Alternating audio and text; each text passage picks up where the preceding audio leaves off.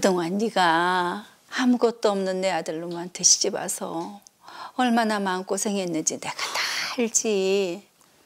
혼자 사업 맡아서 가장 노릇하고 시댁 식구들까지 다 챙겨주고. 아이고, 아이고 이 염치 없는 놈아. 어디서 바람이야 바람이? 아 엄마. 아씨. 애미야, 딴 건 몰라도 우리 사돈 어른들이 그렇게 반대하는 결혼을 했는데 아 이렇게 이혼을 해버리면 그건 너무 불효잖니? 응? 그러니까 다시 한 번만 생각해줘. 응? 결혼 후 남편과 몇 번의 이혼 고비가 있었지만 제 발목을 잡았던 건 친정 부모님 때문이었습니다. 아버지, 원칙적인 성격에 은행원 생활을 해왔던 전 저와 달리 활달하고 호탕한 성격을 가진 남편에게 호감을 느꼈습니다. 불성실하게만 보였던 남편을 탐탁지 않게 생각하신 부모님의 반대에도 전 결혼을 강행했어요. 회사를 또 그만뒀다고? 에이씨. 나 그딴 회사 안 가. 아이, 배가 셋인데 언제 자리 잡으려고 그래? 아이씨. 있으니까 이 자연스레 좀 그만해. 원래 저런 분이었네, 원래.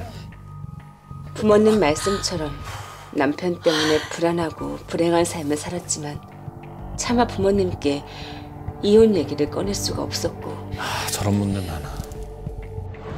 내 결정에 책임을 지기 위해 호텔 사업으로 가장 노릇을 하게 된 전, 저 대신 아이들을 케어해주는 남편에게 고마움을 갖게 됐지만 여자 문제를 일으킨 남편을 참을 수가 없었어요. 그렇죠. 그치. 사실 이게 저런 식으로 집에서 반대하는 결혼을 하신 분들이 그것 때문에 이혼을 맞아요. 미루거나 못하는 경우 꽤나 있거든요. 아, 오히려요. 네, 그게 어떻게 다시 돌려보면은 만약에 진짜 내가 부모라고 했을 때 부모가 원하는 게 그 불행한 결혼 생활을 참고 사는 건지 이혼하고 본인의 행복을 찾는 건지를 생각을 한번 해볼 필요는 분명히 있을 것 같아요. 근데 저렇게 나는 이혼이 절대 안 돼, 내 사전에 이혼은 없어라고 사는 분들 중에서 결혼 생활 힘든 분들이 꽤나 있거든요. 그렇죠. 그러니까 대부분 우리 인생이 내 인생을 찾아야 되는데 난 속은 썩어 문드러져도 다른 사람이 볼 때 보란 듯이 잘 사는 모습 보여줄 거야.